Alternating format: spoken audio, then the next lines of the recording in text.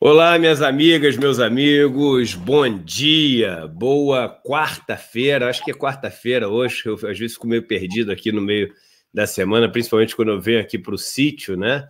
É, mas boa quarta-feira, é sim. E mais um dia que a gente se encontra aqui para discutir as notícias de mundo, as notícias de Brasil. É, semanas que têm sido super agitadas, todos os meses têm sido agitados, meses de aprendizado, né? Estamos tendo que lidar com algo absolutamente novo para todo mundo, né? Até para os cientistas, algo novo, essa pandemia que a gente está vivendo, algo muito sério, né? Muitas mortes acontecendo, o Brasil ultrapassando hoje o número de 170 mil mortes, né? Na verdade, ultrapassou ontem, então é, não tem como a gente é, começar o programa sem antes lembrar de todas essas pessoas, não são números de Excel, não são estatísticas, são famílias, são pessoas que ficaram destroçadas, desestabilizadas, é, arruinadas por conta daquilo que é aquilo que a gente mais tem medo na vida, né? Todas as pesquisas mostram que o maior medo que a gente tem na vida é ou de morrer ou de perder, né? É, para a morte alguém que, que a gente ama muito. Então, in, inevitável é, começar é, o nosso encontro de hoje sem lembrar essas 170 mil vidas é, que se foram nessa pandemia. A gente vai conversar sobre muita coisa é, aqui hoje. A gente tem é, um convidado muito especial. No meio do programa, vocês não se assustem se a minha filha vier aqui me dar um beijo, ela está voltando para São Paulo, então hoje vai ter uma presença relâmpago aqui da, da minha caçula me dando um beijo aqui no meio da, no meio da live, mas hoje vamos dar boas-vindas aqui para o Marco Antônio Rocha. O Marco Antônio Rocha, que é o nosso convidado de hoje, um convidado muito especial e que vai agregar muito para discussões que a gente vem tendo ao longo desses últimos dias, desses, dessas últimas lives. Ele é professor do Instituto de Economia da Unicamp, como é, foi durante muito tempo o Eduardo Fagnani, que está sempre aqui, como é também o Pedro Rossi, que está sempre aqui. Ele é pesquisador do Núcleo de Economia Industrial e de Tecnologia do Centro de Conjuntura e Política Econômica do Instituto de Economia da Unicamp e é o responsável pelo programa econômico do Boulos e da Erundina. Então, eu queria passar para o Marco Rocha dar um bom dia caloroso e agradecer, porque a vida não deve estar fácil para ele esses dias aí. Bom dia, Marco. Bom dia, gente. Bom dia, Eduardo. Muito obrigado aqui pelo convite. Está é, tá corrido, mas a gente fez questão de vir aqui na reta final, importantíssimo, esse espaço aqui para a gente discutir o programa e conversar um pouco sobre economia. E você sabe, Marco, é que hoje tá, tem até uma matéria na Folha sobre isso, onde eu sou um dos entrevistados, né, falando sobre os encontros do Boulos com o mercado financeiro, etc. E até o trecho que eu falo ali, é, eu falo o seguinte, pô, o, o que eu gosto muito do Boulos é que ele deu, ele deu um passo além nessas conversas com o sistema financeiro. Porque eu, eu trabalhei 20 anos no, nos bancos de investimento e uma coisa que sempre me incomodou foi o fato de do, dos candidatos progressistas, né, é, terem que meio que pedir bênção para o sistema financeiro, ou seja, eles iam para acalmar o mercado. E isso me incomodava demais. Vai ter que acalmar, tem que acalmar a população pobre, tem que acalmar o periférico, tem que acalmar o, pô, o povo preto que está tomando tiro na cabeça. Esse que tem que acalmar, esse que está tenso. O mercado não está tenso. O mercado sabe que vai continuar com a tua mansão, vai, vai continuar, enfim, com todos os seus privilégios né, de, desse país. Você não tem que acalmar o mercado. E o Boulos, e o Boulos, ele, eu participei de, de algumas dessas reuniões, ele não chega ali para acalmar ninguém, ele chega para estabelecer uma ponte, para ter um diálogo, para as pessoas conhecerem de verdade quem é o Boulos e não, não personagem Boulos é, maluco, alucinado, radical, invasor que as pessoas inventaram, né? um personagem de quadrinhos que não existe. Então, é, até essa firmeza, eu que, enfim, já conheço é, razoavelmente o Boulos e sempre admirei muito ele, mas ele, enfim, ganhou mais um monte de ponto comigo mostrando essa firmeza, entrando numa sala com 50 caras do outro lado que se acham, né, os reis da cocada preta e as rainhas da cocada preta, que tem algumas mulheres, a maioria é homem, porque o mercado financeiro é, é, é extremamente machista, é um lugar é, basicamente que as pessoas que ascendem aos postos mais altos normalmente são homens, não são mulheres, né? É, e brancos, quase que todos, quase que 100% do, das pessoas que acendem são brancos também, mas o Boulos ali, com todo o respeito, com toda a educação, dando um show de bola nos, nos assuntos todos é, e impressionando muito, porque as pessoas não esperavam isso, mas é assim, muito firme nas suas posições. Você não acha que isso é um passo além também? Ou seja, o campo progressista não ter que pedir benção, não ter que acalmar mercado nenhum, porque, pô, ou a gente quer mudar o mundo, e mudar o mundo significa o mercado ter que entender as prioridades que a nossa sociedade tem, ou você vai acalmar o mercado. As duas coisas ao mesmo tempo não dá para fazer, né? Exato. Eu estava tava lá também né, na reunião e fui citado também na, na matéria da, da, Folha. Muito bom. Ele, é, o fato dele lá, é, eu acho extraordinário isso, porque ele vai para apresentar o, o, programa dele, conteúdo programático, não, não cede nisso, né? E é um programa que, acima de tudo, é um programa dedicado ao direito à cidade. Então, também, além de, de serem figuras do mercado financeiro, etc., também são cidadãos, cidadãos paulistanos, né, e paulistanos, e, portanto, eu acho que todos eles se beneficiam de uma vida melhor na cidade, né, numa cidade mais humana, numa cidade mais democrática, numa cidade onde os espaços públicos são mais abertos, são mais convidativos. Então, é, é chegar lá e explicar justamente isso, que não é radicalidade, pelo contrário, é, é questão de direito à cidade, a qualidade de vida, uma cidade que pode ser de, de todos e de todas, né? É isso aí. E, gente, vocês vão ver ao longo da conversa aqui que a gente vai ter sobre vários assuntos hoje com o Marco Rocha, algo que eu falava na, na reunião de ontem, né? É, que ontem teve mais uma reunião dessas, né?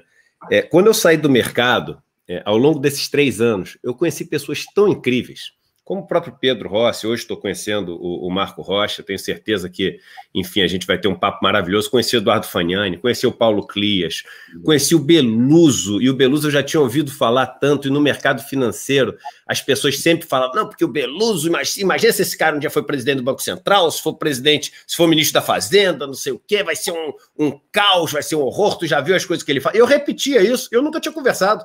E o professor Beluso é simplesmente é simplesmente o indivíduo mais culto e um dos mais inteligentes que eu conheço na minha vida inteira. Se você botar o professor Peluso para conversar com qualquer um desses é, economistas de banco que ficam assim gastando essa onda toda é, em relação ao, ao campo progressista, mas não dá nem para começar a conversar sobre Keynes, conversar sobre Mises, conversar sobre Hayek, conversar sobre Friedman. Eu estou falando dos da, os liberais além dos da esquerda, porque se eu comecei por, por Keynes, eu ia para Marx direto, mas também sobre Marx, sobre esses caras todos. Só que não para aí. Você pode conversar sobre tudo isso, mas você pode conversar sobre Beethoven, sobre Johann Sebastian Bach, você pode conversar sobre o, o, o processo de colonização aqui das Américas, conversa sobre qualquer coisa. Conversa sobre qualquer coisa com o Beluso. Palmeiras é. da década de 50 o Palmeiras da década de 50. Então, o que, que eu estou querendo falar com isso? Gente, se a gente não dá a chance de novas caras é, surgirem, como o Boulos, por exemplo, mas isso vale para outros lugares, como a Manuela, é, no, no, sul do país. Aliás, hoje tem aqui um, uma participação da Manuela no nosso programa é, rapidinha, mas tem uma participação dela aqui hoje. Se a gente não dá, essas pessoas que são pessoas incríveis, são pessoas que dedicaram a vida inteira a estudar, a pensar soluções para o mundo. Elas nunca vão poder nos servir com o que elas descobriram. Elas nunca vão poder colocar a serviço de todos aquilo que elas gastaram uma vida inteira para descobrir. Por isso, tão importante caras novas, para dar espaço a essas pessoas que têm que nos servir, porque tem muita coisa boa para oferecer.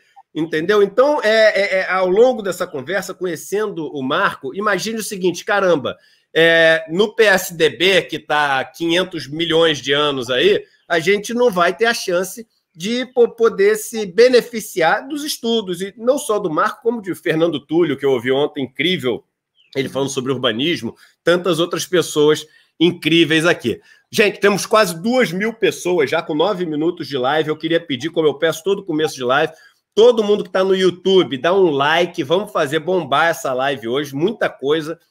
Iniciativas que a gente vai ter relacionadas também é, a essa questão racial que está sendo discutida no Brasil. Então, a gente vai ter uma iniciativa que a gente vai fazer hoje. Tem essa participação da Manu aqui. Tem um monte de coisa legal hoje. Então, todo mundo que está no Facebook, vamos dar um compartilhamento.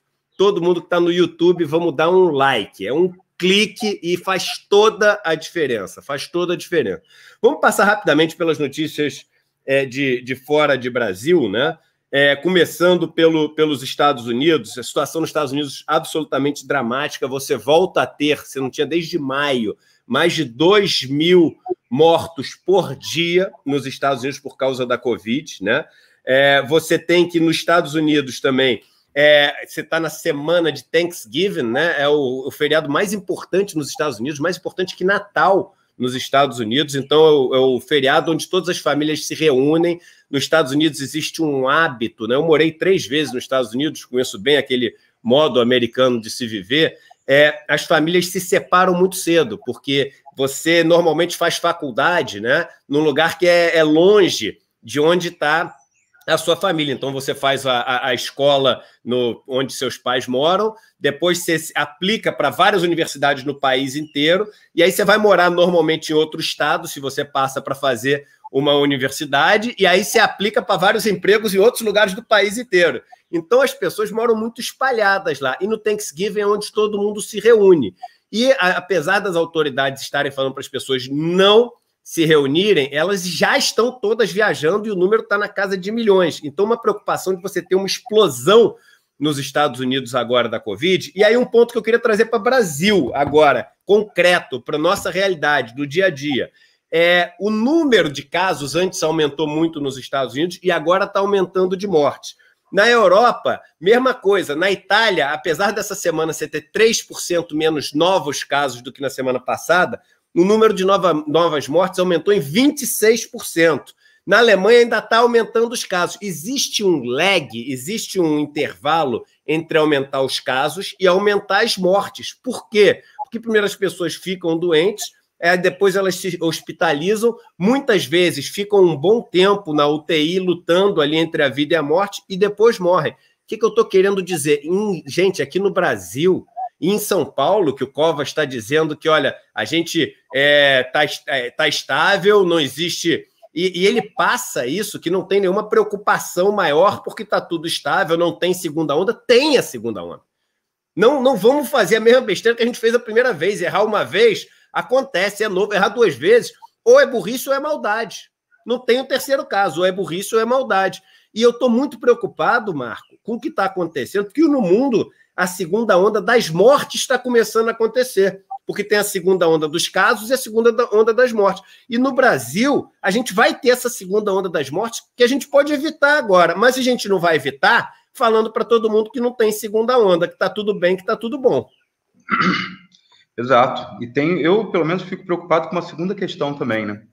É, que foi a, a falta de coordenação no primeiro lockdown que a gente teve e a fadiga que a população já está por um processo mal sucedido de quarentena e o retorno a isso. Quer dizer, um, um processo de que a primeira onda, o governo federal principalmente lidou muito mal com ela, gera uma, uma certa capacidade da gente reagir bem a uma segunda onda. É, você acaba criando uma, uma certa resistência da própria população, né, um, um não convencimento de que a coisa é séria. O governo federal também não dá aceno nesse sentido. Né? A gente também está vendo a situação em São Paulo como é que está, quer dizer, sendo usado no, no momento de eleição também para negar um problema que já está concreto na cidade. Quem, quem frequenta a cidade sabe disso. Então é muito preocupante, é muito preocupante porque a gente tem uma péssima memória do que foi no começo do ano, né, a forma como, como a pandemia foi tratada pelo governo federal, e isso vai acarretar problemas também na, na, no, segundo, no segundo retorno da, do, do acréscimo do número de contágios aqui. É, e só para lembrar para as pessoas, isso que o Marco está falando é muito importante.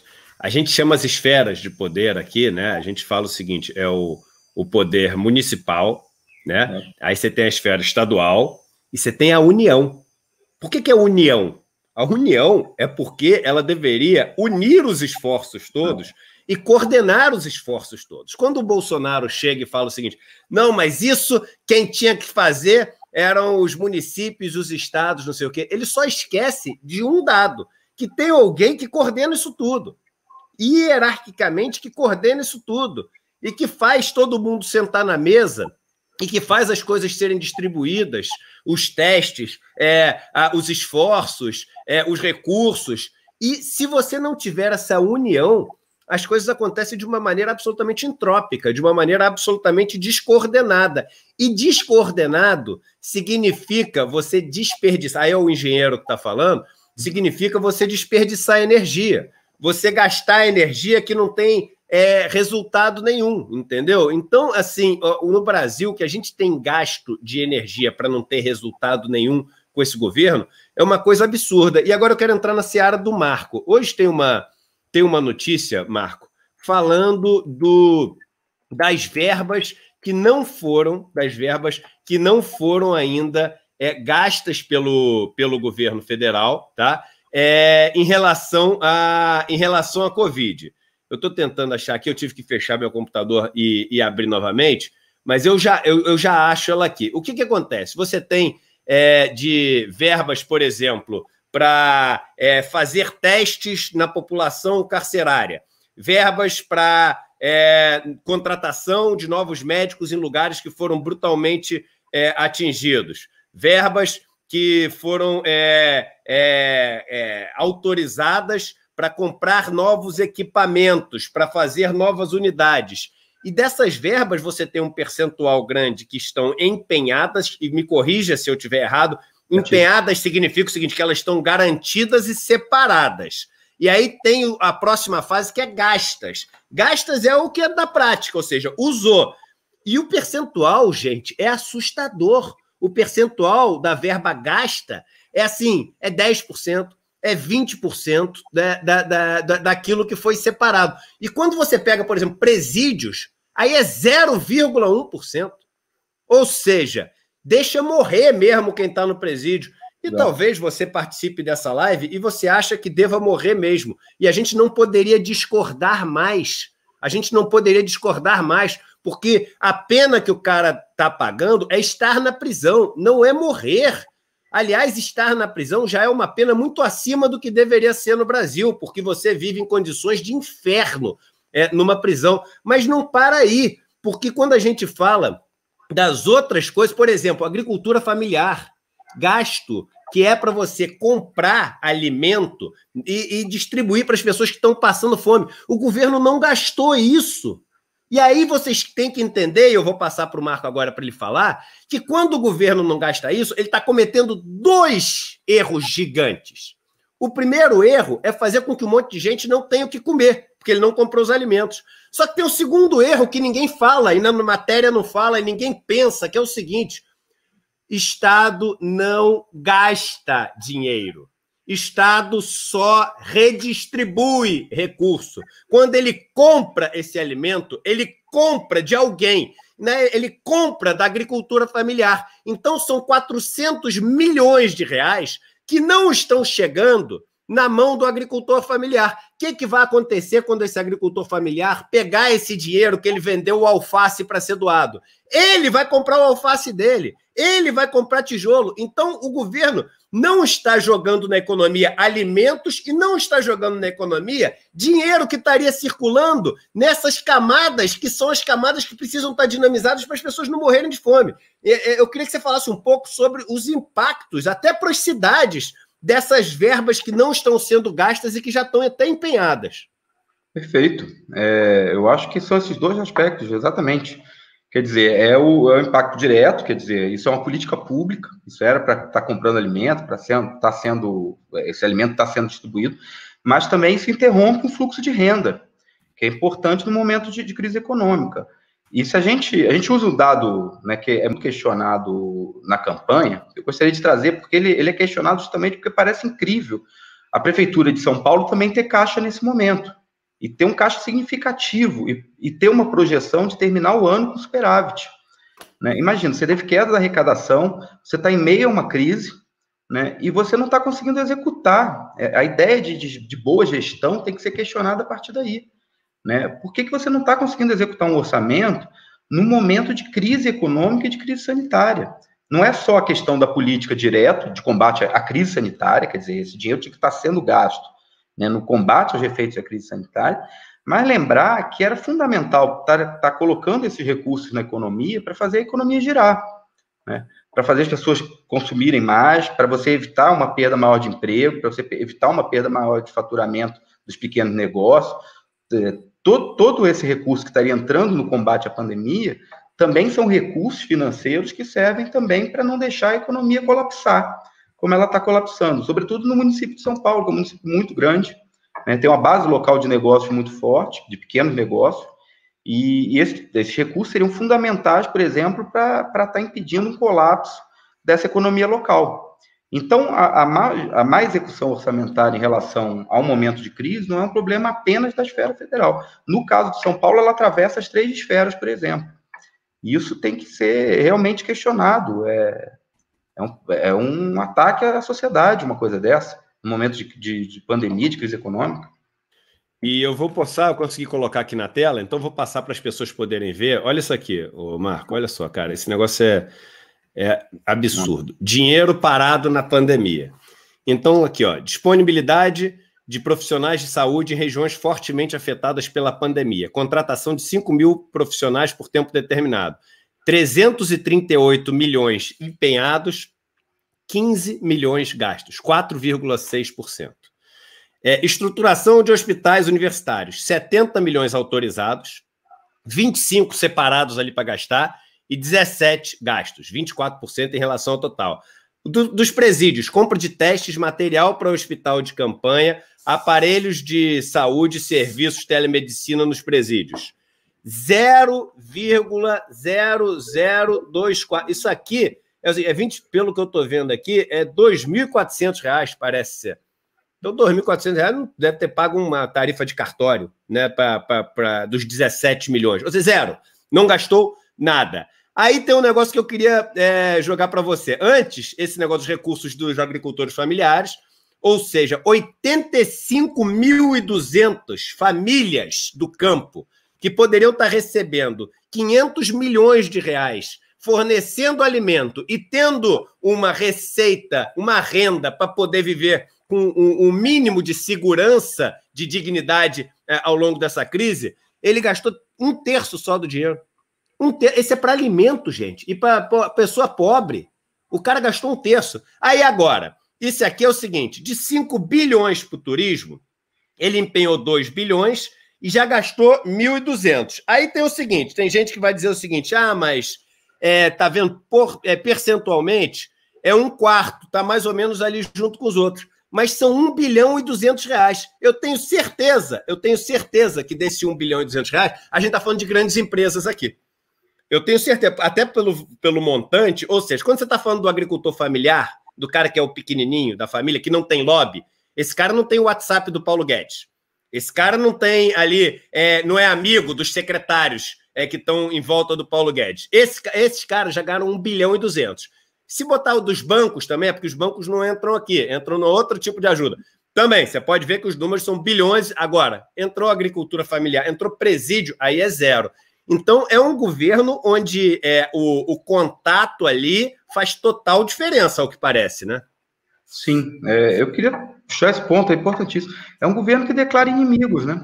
Inclusive no meio da pandemia, quer dizer, é, é a população que está encarcerada, é o pequeno agricultor. Mas se a gente lembrar de uma fala lá do Guedes, é também as pequenas empresas. Né? Acho que todo mundo lembra daquela fala dele que bem, ajudar pequenas empresas também é uma coisa que é jogar dinheiro fora. Então, é um governo que vai selecionando quem, quem são os inimigos e quem, quem faz parte do, do grupo dele. É, a gente, no meio dessa campanha, falou muito sobre a experiência do, do Guilherme, né, do Guilherme Bolo. O Guilherme tem uma experiência fantástica, de 20 anos, de negociação, de fazer pontes, de construir conversa de aproximar as pessoas. E, é isso que esse país precisa nesse momento. Não é de um governo que declara inimigos, que fala que a agricultura familiar é inimiga, que pequenos negócios são inimigos, que quem está preso merece, merece morrer. É um governo que, que, como a gente começou o papo hoje falando, que senta para conversar desde com o pessoal da, da Faria Lima e, e das empresas, mas também conversa com os pequenos negócios, também conversa com a população é, bem sem teto, é um governo que é uma pessoa, acima de tudo, Guilherme, que conversa com todas as pessoas e que tem uma capacidade de negociação e ouvir as partes incríveis. E é exatamente essa experiência que a gente precisa nesse momento. A gente precisa de um, de um governo, começando por São Paulo, que sirva para unir né, esse país que está né, rachado desde, desde 2018, já chega disso, né? É, e só lembrando hoje, gente, é, tem um debate entre a Erundina, debate de vices, na Folha barra UOL, tá? Promovido pela Folha e pelo UOL, pelo portal UOL. Um debate entre a Erundina e o Ricardo Nunes, que é o vice do Covas. Só que virou uma entrevista, porque o vice do Covas disse que não vai participar. Nós aqui, né, nas redes sociais, fomos talvez o, o, o primeiro a falar dessa questão do vice do Covas, que as pessoas tinham que ficar atentas, porque em São Paulo, tanto capital como é, tanto cidade como estado, a gente se acostumou, desde que eu cheguei em São Paulo há mais de 15 anos, né, quase 20 anos, eu me acostumei a ser só governado por vice. O Kassab era vice, o Alckmin era vice, é, o é, é, Gol era vice, o Covas era vice, o, to, todo, mundo, todo mundo era vice, todo mundo era vice, né? E alguns por motivos, enfim, é, absolutamente infortuitos e, e, e, tristes, como o caso do Alckmin, que assumiu no lugar do Mário Covas, uma grande figura que a gente teve aqui no país, no movimento das diretas já e etc. É, mas é, os outros, porque São Paulo é um grande trampolim. São Paulo é um trampolim para voos maiores, né? Então, se a gente sempre foi governado por vices aqui em São Paulo, pô, as pessoas tinham que ver quem era esse vice. E o vice, as pessoas no Rio estão vivendo isso, gente. As pessoas no Rio não conheciam quem eles elegeram para governador. Aí, de repente, eles olham e pô, ficaram com vice desse que eles não conheciam. E aí, o, o cara tinha. Eu, eu, sei que isso não é, não é medida de nada, mas só para dar uma referência de qual legitimidade ele tinha das pessoas conhecerem ele, ele tinha 2 mil seguidores na conta dele do Instagram. 2 mil seguidores. Por que, que eu estou falando ah, seguidor de Instagram? Mostrar como as pessoas não tinham a menor ideia que esse cara existia. Ninguém sabia. Eles estão sendo governados por ele. Vamos lembrar que o Covas era vice. Então, vocês correm o risco, eu digo vocês correm o risco, porque eu não. Eu voto no Rio, eu votei na Benedita, fiz campanha para Benedita. Esse ano eu estou transferindo meu voto para São Paulo. Todos os meus amigos nunca me deixaram tirar o título eleitoral do Rio, eles queriam que um dia eu fosse candidato a alguma coisa no Rio, etc. Mas o que, que acontece? Aqui em São Paulo, existe o risco de ser é, governado pelo vice do vice. E o vice do vice que ninguém conhece, e todo mundo colocou essa pressão, em vez do cara se explicar, o cara não vai no debate. Vocês querem uma, uma assinatura de confissão maior que essa? O cara não vai no debate com a Erundina hoje. E eu queria te passar isso para falar o que, que tem sido para vocês. Você é um cara super jovem, enfim, com uma super carreira acadêmica, etc., mas um cara super jovem, o Boulos é um cara jovem, etc. Como é que está sendo essa troca com a Erundina em termos de aprendizado, em termos de coisa que, elas têm, que ela tem podido passar para vocês? Cara, eu, eu, eu vou falar de forma muito pessoal aqui. Ela, ela transmite uma força que é inacreditável, assim. É, é, é uma pena as pessoas terem algum preconceito contra idosos, às vezes, achar que, que eles não têm mais energia para certos cargos públicos é impressionante a energia que ela transmite quando ela fala. Eu brinco lá que, assim, falar depois da Erundina ter falado é a coisa mais fácil do mundo. Porque ela, ela se gigante, ela transmite uma energia, uma força, sabe? Uma, uma, positividade, uma garra de fazer as coisas, que, que depois fica tudo muito simples. É, é impressionante, né? Eu brinco que é a espécie de um, de um, general em campo de batalha. É, ela transmite uma, uma força que é inacreditável.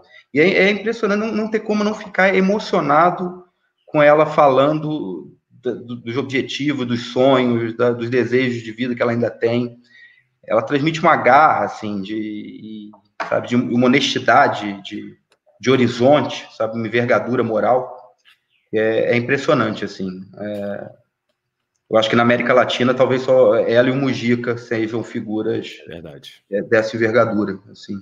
Impressionante. Muito bem lembrado eu sou meio suspeito para falar delas. Não, muito, muito bem lembrado. Mujica é uma figura realmente assim comparável, né? Os dois, ah. assim, em termos de história, de experiência, de maturidade, né? Porque tem gente que fica é, que fica com a idade mais avançada, mas não fica muito maduro, né? Pelo contrário, começa a acreditar que a Terra é plana, começa, enfim, a acreditar que na vacina tem um, um chip que liga com 5G e que faz. Tem gente que vai ficando né, meio paranoica, né? Com a mas é, só queria falar um, um, um, negócio antes da gente trazer aqui o, o videozinho da Manuela na nossa meia hora de live aqui. E eu vou falar isso aqui é, é tocando a real mesmo, assim. Tocando a real para você, meu irmão, tocando a real para você, minha irmã, que mora na periferia, que passa o perrengue pô, de pegar o ônibus é, 4 horas da manhã, 5 horas da manhã, lotado, e chegar lá e o cara reclamar que chegou 10 minutos atrasado, e chegar em casa, tem um monte de coisa para fazer, tu chega 10 horas da noite, caos, aí pô, falta a luz, demora para caramba para chegar o negócio da luz, a árvore quer, ninguém vem cortar tua árvore, a praça ninguém limpa, e tu deve estar tá pensando assim, pô, Eduardo, cara, tu tá falando isso, tu não entende nada disso, e você tá certo. E você tá certo. Eu quero usar essa até raiva que você sente de mim quando eu falo isso. Eu quero usar isso porque ela é muito útil. Ela é muito útil. Eu quero que você entenda. E eu tô te falando deste lado da bolha, de quem foi sócio de banco, quem foi banqueiro, quem passou 20 anos defendendo isso mesmo, defendendo Aécio Neves, defendendo o PSDB, fui numa passeata contra Dilma, que é o, o vídeo que passa aí e tudo. Eu tinha, eu tinha essa visão de bolha de quem nasceu. Eu nasci no meu colégio, não tinha preto na minha escola, tinha um, dois, três que eram filhos de funcionários que eram obrigados a dar bolsa. Entendeu? Eu estudei na PUC. Eu vim de um dos bairros de classe é, média alta do Rio de Janeiro, que é uma bolha também. Não mora praticamente negro no bairro onde eu morava, lá no Rio de Janeiro, na Urca. Pô, amigos queridos, mas não, não é um bairro plural. Não é um bairro plural. Então, esse Eduardo todo, que até tem muita gente da esquerda que critica, olha o que, que você já fez, etc. Eu não tenho o que falar, é isso mesmo. Eu já fiz tudo isso. É, eu, eu resolvi me colocar numa caminhada para descobrir o mundo que eu realmente não conhecia. E começou com o MST há dois anos e meio atrás, e tem sido um aprendizado todo dia. E aí você pergunta, e você se arrepende do que você falava? É claro que eu olho para trás e falo, caramba, olha a besteira que eu falava, mas eu sou a soma de tudo isso que aconteceu. Talvez o que faça eu ser um ser meio diferente é ter tido a chance de ter vivido tudo isso e poder trazer para cá essa experiência da cegueira da bolha. Isso tem um valor também, entendeu? E eu falo isso porque é isso que eu tenho para oferecer. Cada pessoa na vida tem uma coisa para oferecer. E eu vou te oferecer desse cara que veio da bolha é o seguinte, meu irmão e minha irmã, tocando a real para vocês. Nunca, nunca vai vir de um cara como Covas, Ricardo Nunes e a turma que está patrocinando eles que são grandes empresários que estão financiando, e aí tem grupos construtoras, grupos de educação, todos esses financiando, nunca vai vir você como prioridade. Nunca. E aí, como eles sabem que isso é tão claro, aí tem que começar a jogar, meu irmão. O Boulos é coisa do diabo, cristão não vota em Boulos, é, o Boulos é comunista, o Boulos vai invadir tua casa. E por que, que eles falam esses absurdos todos que tu repete no grupo de WhatsApp para a galera do churrasco? Tu repete pra galera do churrasco, tu repete pô, no WhatsApp do teu sobrinho, do teu tio, do teu primo da família, falando que não vota em comunista, que tu não quer que o Brasil fique que nem a Venezuela, etc. Eu sei o que tu repete, porque chega para todo mundo esse negócio. Mas por que que tu repete isso e por que que o cara faz tu repetir isso? Porque é tão óbvio que ele tem que vir com um absurdo. É óbvio que não vai vir de covas uma prioridade para onde tu mora, porque onde tu mora já tá um perrengue enorme. Já tá um perrengue. E ele é o prefeito. Ele não vai ser prefeito se ele se, ele se eleger. Ele é o prefeito. Então só existe uma alternativa verdadeira para o povo periférico, para o povo preto, para o povo que passa o perrengue trabalhando o dia inteiro, de sonhar, porque pode ser que não dê certo também, porque tudo pode dar certo e pode dar errado. Mas a chance de dar certo para você só existe com o Boulos. Eu te garanto isso, porque eu vim do outro lado. Eu sei o que se conversa nas salas fechadas de reunião dessa elite branca que é dona do poder. O que se conversa é qual a oportunidade que tem nessa privatização do sistema de água, de saneamento, do sistema de saúde, no sistema de educação, quais as empresas que vão se beneficiar com isso, quais operações de fusões e aquisições vão dar para fazer. É isso que se conversa. Eu te garanto eu te garanto com assim a certeza de uma vida do outro lado. Não existe possibilidade da tua vida melhorar se você é da periferia sem ser com bolos e com. Com bolos e erundina pode até ser que não melhore, porque a gente vai ali testar para ver se os caras são bons ou não. Agora, com ovas, eu tenho certeza que não vai melhorar. Desculpa pela fala, Marco, mas é, é, uhum. pô, é, é, é, o que eu tenho para passar para as pessoas, é a experiência do outro lado, entendeu, meu irmão? É, é, simples ver isso. Eu convido as pessoas a darem um Google aí e no Google escreverem 10 principais doadores de campanha de Bruno Covas. Vocês vão ver que a grande maioria são os fundos imobiliários. E as incorporadoras, no período próximo ano, a gente vai ter revisão do plano diretor. Então, o que está em jogo é o projeto de cidade e é, é superar essa lógica do balcão de negócios para a cidade. Né? Colocar o, né, a periferia também, a qualidade de vida na periferia como centro do debate sobre que modelo de cidade, que projeto de cidade que a gente quer, né? E justamente isso, enfrentar esse, esses interesses e essa lógica de se pensar a cidade, que se ela não for mudada, ela não vai mudar a vida das pessoas que estão na periferia, não tem jeito. É, são coisas excludentes, não, não podem ser é, conciliadas. Então a gente precisa inverter prioridade, e isso é, faz parte do orçamento público fazer isso. Tem sempre essa situação Toda vez que eu pego mais pesado, eu caio. É, uma... é verdade. Quem participa aqui das lives sabe como é que é. Toda vez que eu pego mais pesado, que eu falo negócio do sistema financeiro, eu caio. Pode ser uma super coincidência, pode ser que o volume mais alto da voz um bug aqui no StreamYard, pode ser um milhão de coisas, como pode ser outras também, né? E eu queria que você falasse, mas antes só só, 36 minutos de live, chegamos aqui é, na metade da nossa live. O pessoal está falando, pô, a gente tem quase 3 mil pessoas aqui participando, gente pra caramba, e tem pouco like, galera, tem 400 likes. Vamos lá, a gente pode fazer mais, vamos, tem que ter o mesmo número de likes e de gente para poder chegar em muita gente, gente. Então todo mundo é um like, não custa nada. Pô, a gente é uma comunidade, todo mundo tem que se ajudar. Chegou aqui no celular, pega, clica no para fechar o chat, vai aparecer o botãozinho, clica no like. E o pessoal do Facebook, vamos dar um compartilhamento, é reta final, a gente precisa é, da ajuda é, de todo mundo. Antes, vamos passar o vídeo da, da Manu para gente? Passa o vídeo da, da Manu para gente, Marco, porque a, a Manu gravou um vídeo aqui para nosso para nossa turma, para nossa comunidade, e é muito importante. A Manu, na última semana, conseguiu subir para caramba nas pesquisas também. O candidato que vai contra ela caiu para caramba também nas pesquisas. E quando você olha os dois, gente, olha, sem brincadeira, e aí eu, eu tomo aquele cuidado de, poxa, não pode ir pela foto, mas numa boa, olha onde você vê renovação nos dois, pelo amor de Deus, olha ali, vê cinco minutos dos dois falando, vê onde você vê renovação nos dois. Eu não estou falando que um é mais velho do que o outro, não. Eu estou falando até do jeito de se vestir. O cara pô, com aquele terno antigão, é aquele. Parece o Justo Veríssimo. Eu nem sei quem, quem é esse cara direito, entendeu? Mas eu vejo ali o histórico do cara, o, o partido do cara, o, as coisas que o cara defende, a fala do cara, é, a, a obsessão por essa questão de privatização, etc e tal. E do outro lado, a Manu, um ar fresco, entendeu? Uma novidade, que nem eu estava falando de São Paulo. Caramba, Porto Alegre, não é possível, não é possível que ainda não entendeu que esse austericídio que está sendo defendido, tanto que o, o prefeito não foi nem para o segundo turno, o atual prefeito Pô, aí vocês vão querer é, não ir com o prefeito para o segundo turno e com outro cara que vai ser mais do mesmo, vai mudar seis por meia dúzia. Para que tanto esforço para mudar mais do mesmo? Então eu queria que. E ainda tem o Rosseto, né? Que é o vice. Aliás, pô, os dois de vice estão bem parados para caramba. Então passa o vídeo da Manu para a gente, por favor, Marco. Põe o som na caixa aí.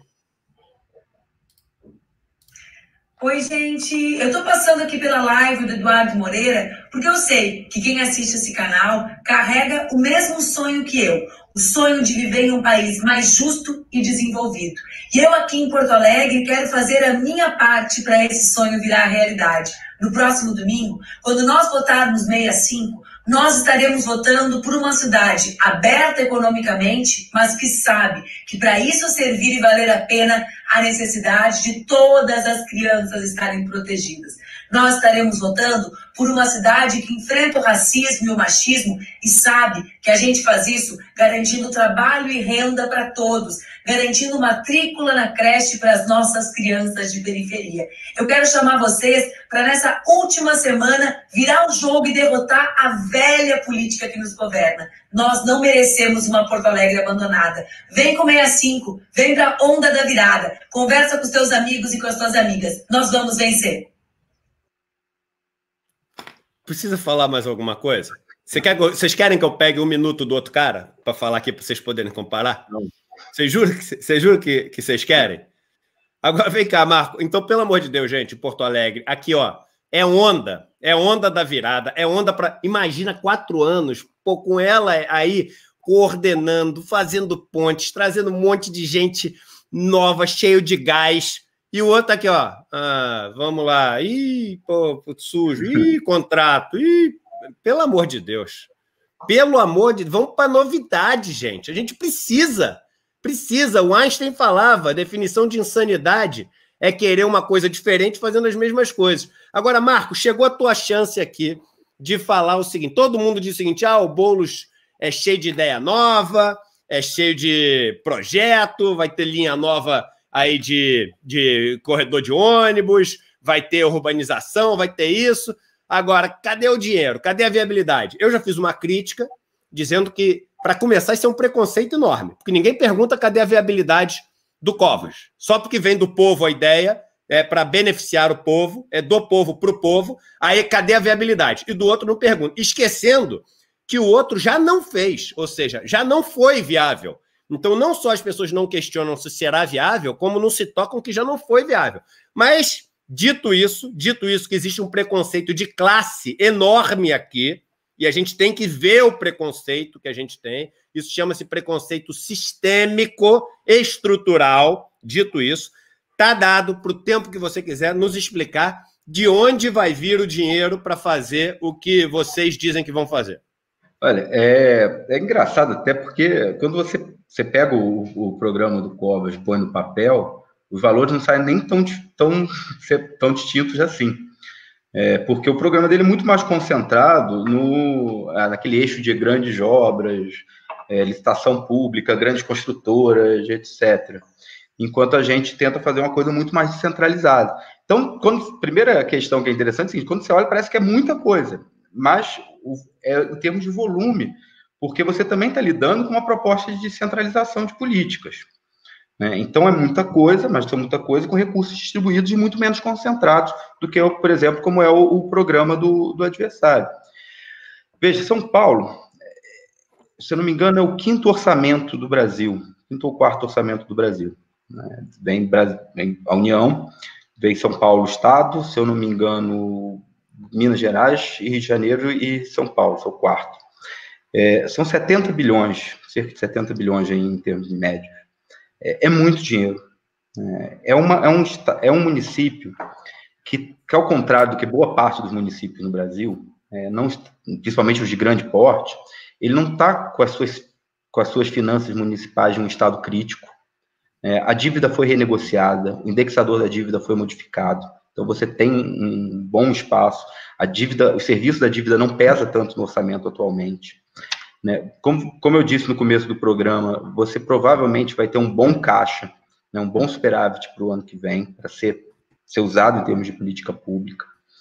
Você está longe do limite de contratação que permite a lei de responsabilidade fiscal. Então, os indicadores financeiros do município, é, isso por conta, vamos lá, um, de um processo de gestão financeira do município que vem lá desde os anos, metade dos anos 2000, que está sendo positivo, está apresentando efeitos positivos, inclusive em termos de certas estruturas do município, para, por exemplo, cobrar dívida, etc., que a gente está tendo avanço.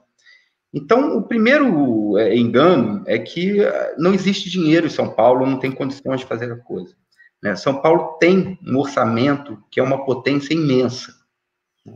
que bem aplicado, né? usando ele de forma é, não concentrada, atendendo demandas que, que, que estejam na ponta, né, e de forma eficiente, você tem uma capacidade de fazer uma transformação na cidade que é ímpar em termos de, de municípios brasileiros.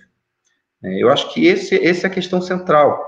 Quando a gente está falando do nosso programa de governo, principalmente o programa econômico, porque aí também, como aparece no jornal, o que, que acontece? Tem muita coisa que a gente. A proposta é uma proposta de longo prazo, quer dizer, uma meta para a gente chegar nela no final do, do, governo.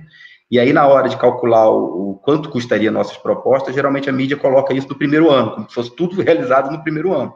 Né? A gente tem uma, uma certo escalonamento de como as coisas, como a gente pretende que as coisas sejam feitas. em termos de meta de realização até o final do mandato. Então, não é, não é tudo que vai, vai entrar no orçamento no primeiro ano. Mas da, da parte do programa econômico, das nossas grandes propostas econômicas, a gente está falando em algo em torno de 10 a, 3, a, a 10 a 15% do orçamento. Então, remanejar 10 a 15% do orçamento não é uma impossibilidade. É óbvio que é uma, uma coisa que requer uma negociação política.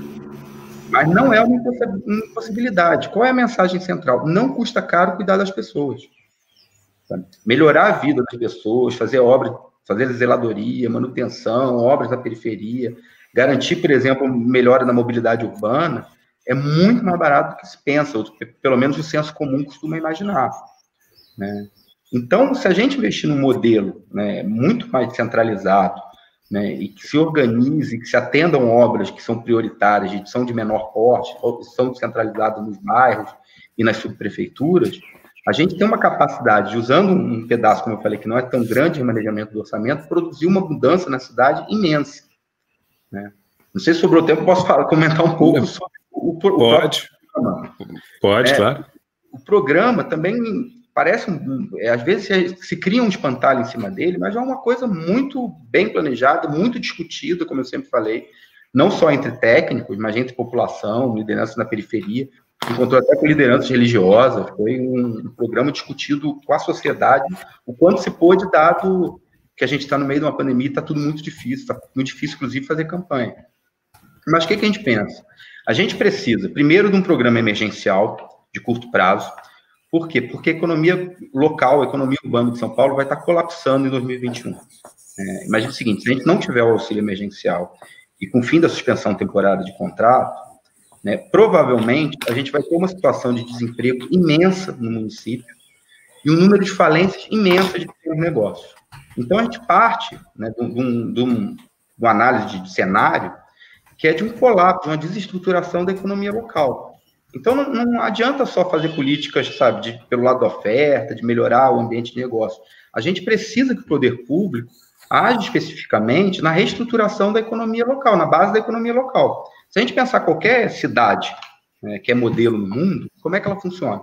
Geralmente, ela tem né, um, um, serviço de negócios né, de alto valor adicionado que funciona muito bem, que é importante para a base, base de arrecadação tributária na cidade, mas ela também tem uma base de economia local, né, de pequenos negócios, de, né, de pequenas atividades, de cooperativas, de etc., que funciona e que dá vida justamente a essa cidade. Né, e que, no fundo, é o que emprega o grosso da população nessa cidade. Então, no curto prazo, a gente tem que cuidar da rearticulação e da reorganização dessa base. Como é que a gente vai fazer isso? Primeiro, por transferência de renda para combater a explosão da, da pobreza que a gente vai ter.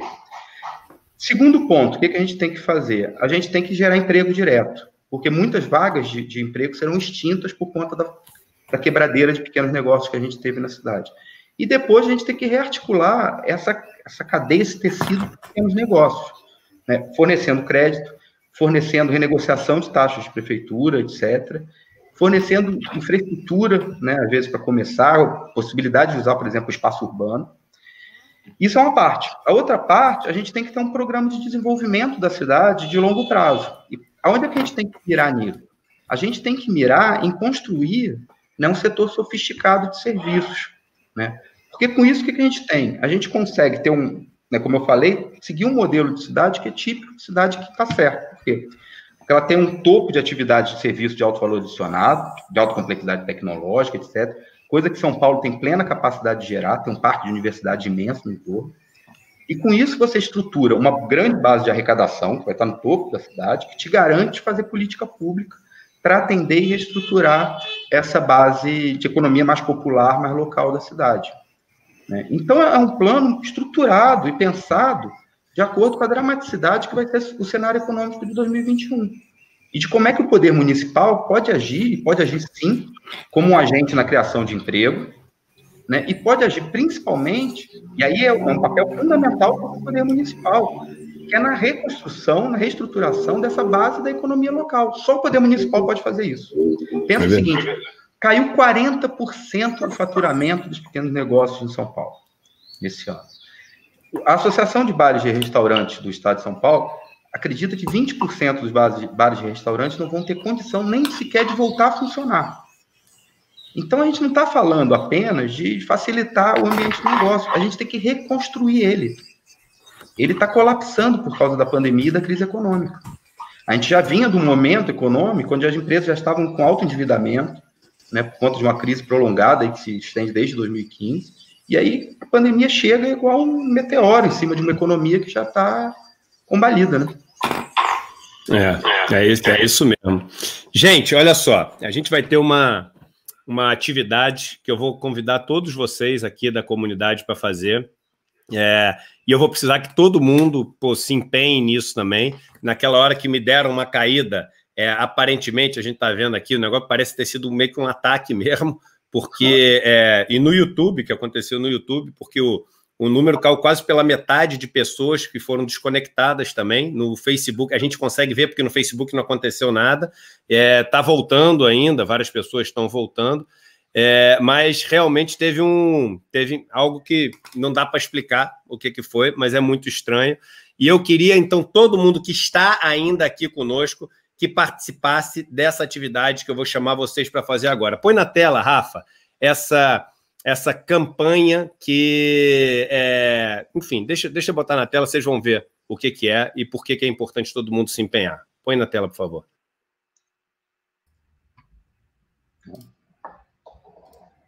A minha consciência defende liberdade para André Lemos. André Lemos é artista, educador e ativista. Ele foi o primeiro negro a ganhar o prêmio Shell de Teatro na categoria Direção ele foi condenado a um ano e 15 dias de prisão por desacato à autoridade. A condenação aconteceu porque em 2013 André lecionava teatro e musicalização na ocupação indígena Aldeia Maracanã, o antigo Museu do Índio. A polícia militar, subordinada ao então governador Sérgio Cabral, hoje preso, agiu ilegalmente ao desocupar a aldeia Maracanã sem mandato judicial. O espaço funcionava como um projeto de uma universidade indígena. E a empreiteira Debrecht queria transformá-lo no estacionamento para a Copa do Mundo. André foi retirado à força de um perímetro reconhecido como legítimo território indígena. Ele e algumas pessoas realizavam um protesto pacífico que consistia em permanecerem sentados nesse local. Somente André Lemos, único negro do grupo, foi algemado e autuado. Em 2020, sete anos depois, André é condenado a um ano e 15 dias de prisão. No momento, a defesa de André aguarda o julgamento da eliminado habeas corpus, que está no gabinete da ministra Rosa Weber, no Supremo Tribunal Federal. Hoje, o que eu peço é a sua consciência pela liberdade de André Lemos. Compartilhe esse vídeo usando a hashtag Liberdade para Lemos. Entre na nossa página do Facebook e acompanhe mais detalhes dessa luta. Minha consciência defende liberdade para André Lemos. Liberdade, liberdade para Lemos.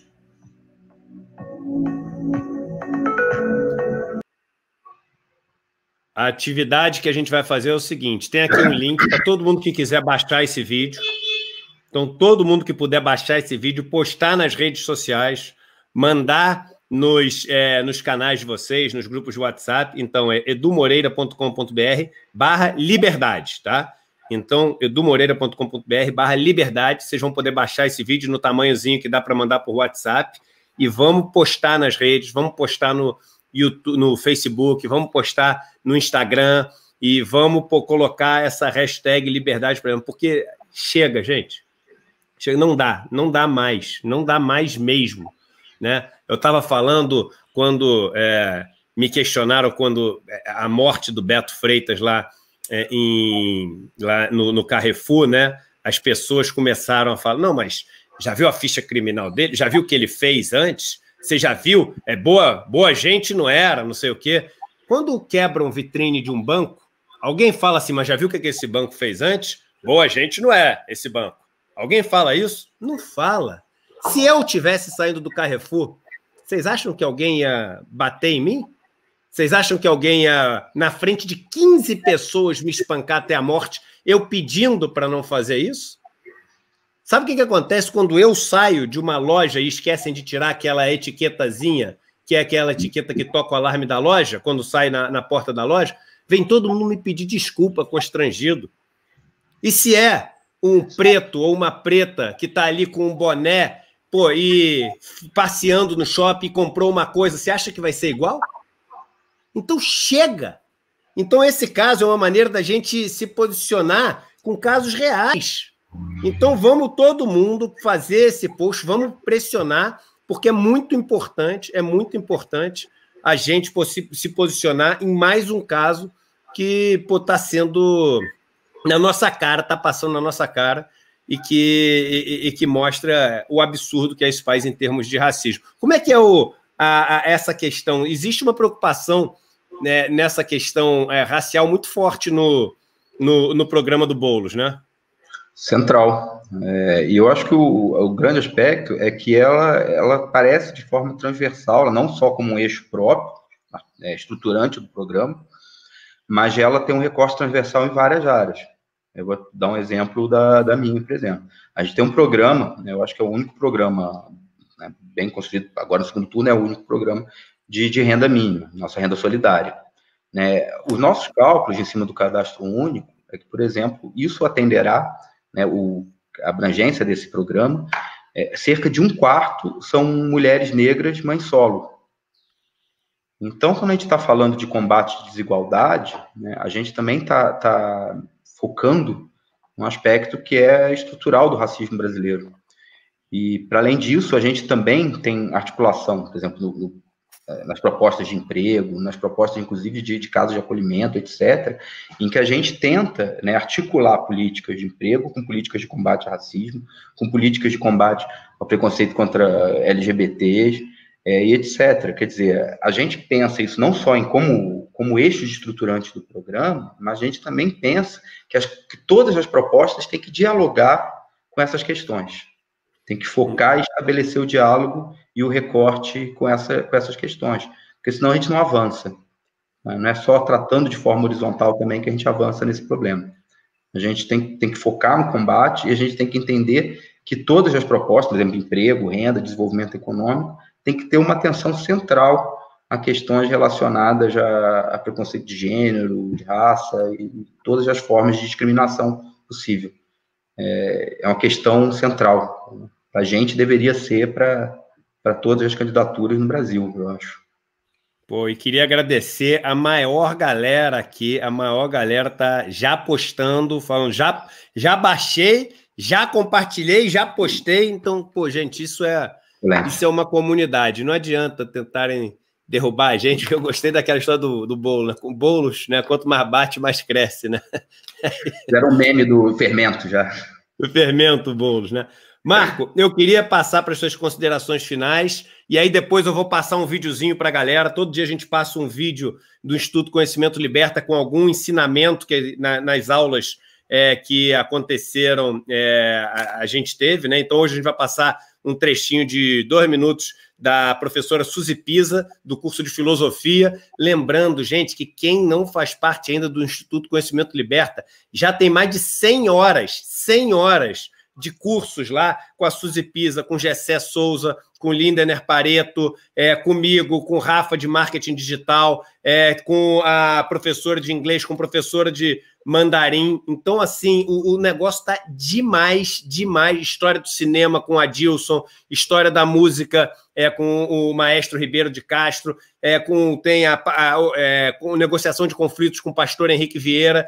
Então, assim, é, pô, hoje, se você entra no estudo, você já não consegue tempo para estudar tanta coisa que tem. E isso é uma transformação é, na vida de uma pessoa. Lembrando que a gente tem mais de 3 mil, mais de 3 mil, quase 4 mil bolsas que já foram bancadas por pessoas que entraram e pagaram 20 reais a mais por mês, de pessoas que são professores do interior do país da rede municipal que estão recebendo bolsa gratuita, pessoas ligadas à Educafro, pessoas ligadas ao MST. Então, assim, vocês que entram estão ajudando a fazer uma revolução. Eu passo para você, Marco, para poder fazer seu, seu comentário final. Lembro que amanhã a nossa conversa é com Glenn Greenwald aqui, então amanhã, super conversa aqui na, na live. E passo para o Marco fazer suas considerações finais. Falar brevemente, agradecer o Eduardo imensamente pelo, pelo espaço, pelo convite, foi, foi ótimo. E agradecer, em nome da campanha, essa reta final, o imenso carinho que a gente está recebendo. Assim. Eu até me emociono um pouco de falar nisso, mas é, a gente está recebendo carinho, assim, diariamente ordinário. E, sei lá, assim, é, essa coisa que está acontecendo em São Paulo, no Rio Grande do Sul, com a, com a Manu, e lá em, em Belém com o Edmilson, assim, me lembra umas memórias de infância da época das diretas, sabe? Uma coisa de, de você ver um país respirar, se reerguer. Então vamos, sei lá, vamos deixar isso morrer, não. Vamos votar Sim, 50 no domingo. E aí, vamos votar 50. E a notícia boa é a seguinte: que eu falei que hoje tinha notícia boa, que é isso que está desesperando Covas. No primeiro turno, por causa de uma abstenção que não é homogênea, as pesquisas erraram, né? E a gente está achando que é por causa disso que elas erraram, né? A gente sempre pensa, dá o benefício de que as pessoas fazem as coisas todas bem intencionadas. Mas o, é, as pesquisas erraram, botando o Boulos 4% abaixo do que ele teve de verdade, dos votos totais, não estamos nem falando dos votos válidos. E o Covas botaram ele é, 3% acima do que ele realmente teve. Então, 7%. Se você tirar essa diferença, já é empate técnico. Se você repetir isso no primeiro turno, e eles não adaptaram a metodologia, ainda é a mesma metodologia do primeiro turno, até que eles, eles não falaram nada de nenhuma mudança. Então, já é empate técnico. Gente, vamos com tudo que dá para levar. Dá para levar com a Manu, dá para levar com Boulos, dá para levar com o professor Edmilson, dá para levar com o Sarto, dá para levar com todo mundo. Dá para levar e dá para criar uma base para um 2022 diferente. Só depende da gente. Vamos, nesses últimos dias, dar aquele mega gás para no final poder comemorar dizendo o seguinte: eu participei dessa vitória. Porque a gente vai poder falar, eu participei dessa vitória. Então, vamos dar esse gás. Rafa, põe o, o, o, o videozinho. É do. Tem do Gessé? Põe, aí do Gessé. Do Gessé. Né? Amanhã a gente põe o da, o da Suzy. Vê se você consegue pôr o do Gessé pra gente. Se não conseguir, põe o da. Porque o Gessé fala um negócio que é que é interessante pra caramba, um trecho da última aula dele de sociologia. Se der, Marco, ponha aí o da, da aula do Gessé. É super interessante, é um conceito super simples, mas importante a gente ter na cabeça. Vai lá.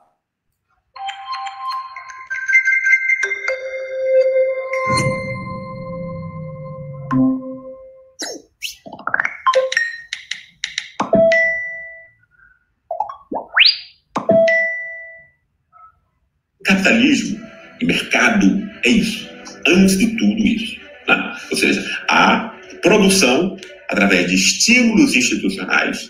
Que estímulos são esses? Prêmios e castigos. E começa desde a família. É prêmio, é exatamente é, prêmios e castigos. Você vai ter o amor paterno e materno, então, então não, então o pai vai ficar decepcionado, a mãe idem, etc, etc. Isso são típicos é, prêmios e castigos afetivos da socialização familiar. Né? Na escola também, você, você passa ou não, se é aprovado ou não, se recebe o elogio da, da professora ou do professor ou não, etc. Né? Então, sempre é prêmios e castigos embutidos no próprio funcionamento dessas instituições, que vai reproduzir, obviamente, né, os interesses na construção é, psicossocial, na família e na escola, do tipo de indivíduo que o capitalismo precisa porque senão você não vai, né? senão você, é, senão são indivíduos que você não pode utilizar, são indivíduos que não se autocontrolam, não têm disciplina, chega muito tarde no trabalho, não cumpre as suas obrigações, não dá mais importância é, a, é, as satisfações imediatas, etc, etc. Então ela vai, ela vai, vai ser um indivíduo disfuncional para o mercado. Normalmente não pensa no mercado no sistema. Não. Por que não pensa? Porque já nasceu sob a égide do mercado do Estado. Então, é algo naturalizado para a gente. A gente acha que é assim mesmo, é, que funciona desse modo há mil anos. Não é verdade. Né? Isso é típico de uma sociedade é, moderna. Né? Então, tenham na cabeça o seguinte: a gente foi criado na lógica do, é, da punição e da recompensa. A gente foi criado na lógica da ameaça, do medo, se a gente fizer alguma coisa errada. Então, votar no campo progressista é, dá uma sensação de estar tá fazendo uma coisa meio que errada, porque é isso que é colocado na nossa cabeça. Encara essa sensação. Sai da sai da punição e recompensa e entra no campo da esperança. Mesmo com essa sensaçãozinha, essa sensação passa, tá bom? Tem que passar essa sensação e esse prefeito que está aí. Vamos trazer o novo, que é o novo que vai fazer a diferença. Valeu, Marco. Até amanhã. Amanhã com Glenn Greenwald.